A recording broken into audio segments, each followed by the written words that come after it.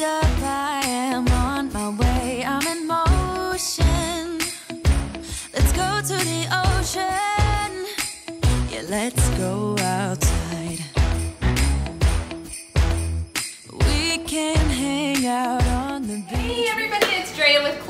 With another Christmas takeover for you and I've got a question for you. Do you have any chargers kicking around your house that you don't use? Maybe you got a new set or they no longer go with your decor or quite frankly, your cooking sucks and nobody's coming over to eat at your house. If you answered yes to any of those, I've got you covered because we're doing another super adorable and affordable Dollar Tree DIY using their charger plates. I love this beautiful red one. You can almost always find these from fall to Christmas at Dollar Tree. And these ones are a little bit more hit and miss, the faux wood. But anyways, we're gonna go from clueless to I got this on how to make some Christmas chargers. Oh, and before I forget, if you enjoy this tutorial, make sure you check out the description and come visit my channel by clicking the link or searching Clueless Mama D. I would love to have you and do more DIYs with you. If you subscribe, we can keep in touch. Now we're starting with the faux charger and I'm going in with my chalk paint from shopauntietay.com. There is a beautiful array of colors and you get a discount with my code cluelessmamad, one word lowercase. And I decided to just go ahead and pop that bad boy, the color Blanco on the center of this.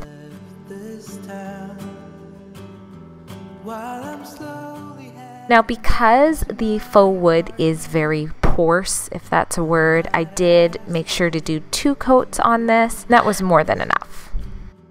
I'm just thinking out loud in the darkness. And there you go. I'm not too worried about the perfection around the edges because I'm going to be covering that up anyways. That's what two coats looks like. It's good enough for me. And I'm going in with my Folk Art clear wax to seal it. I really like this wax. It's also linked in the description from Amazon if you don't have a wax. I like that it's natural, it's easy to use, and it's just non-toxic. So I can do it on my kitchen counter like I'm doing now.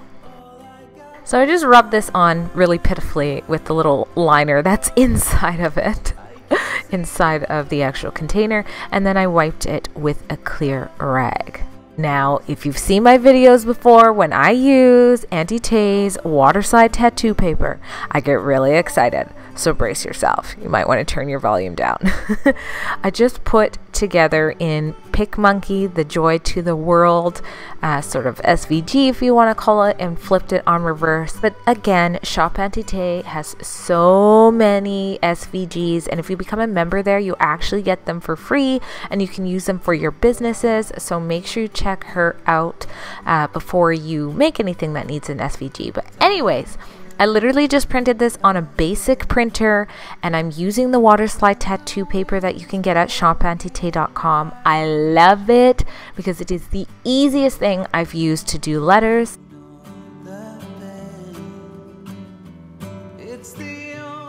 And now I'm just pulling away the part that I stuck on to what I had printed out in just my basic printer. I'm gonna have to get a colored printer because I love this tattoo paper so much. And then you just flip it over and basically now it has like the sticky adhesive stuff on it. So when you treat it just like you would a tattoo, you know the kind that you used to get in like candy boxes and stuff, just go ahead and damp it and soak it and then this is the water slide part. Get on your swimsuits. All right, there it is. I love it. Easiest thing ever. Now this pack of ribbons I got at Dollar Tree and I am so in love with it. They had so many different colors there and I picked up a pack of it's actually three colors and I picked up all three. If you go to my channel, I do a lot of Dollar Tree hauls so that I can tell you what's in stock that you can get for upcoming DIYs and I was really excited to find this.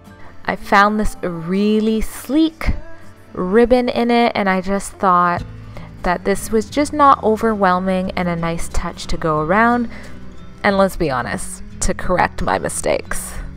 There it is. Joy to the world, the Lord has come. Now for the red charger, I'm going in with Shop Auntie Tay's Onyx color, which is like a matte black. I love it. And this time I was more careful. Your girl really tried to stay within the lines. But Thankfully, because chalk paint is water soluble, I just went in with a wet paper towel to touch up any errors that I did make, and it came off really easy.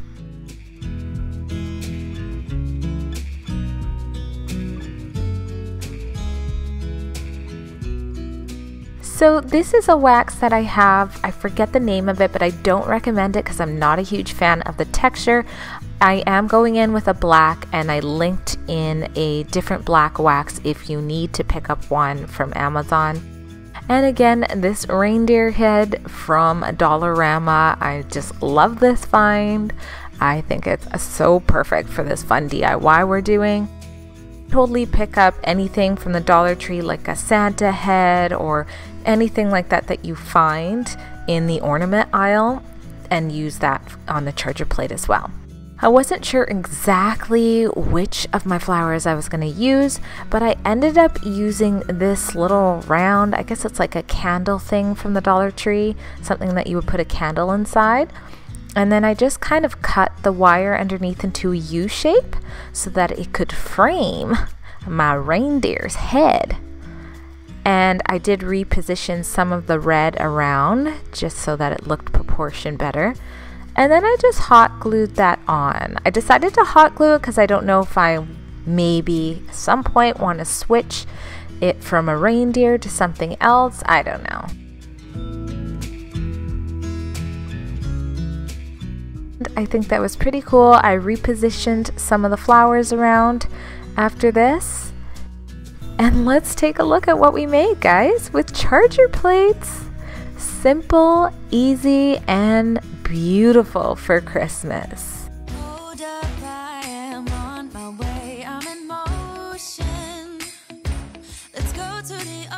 Comment below, let me know which is your favorite.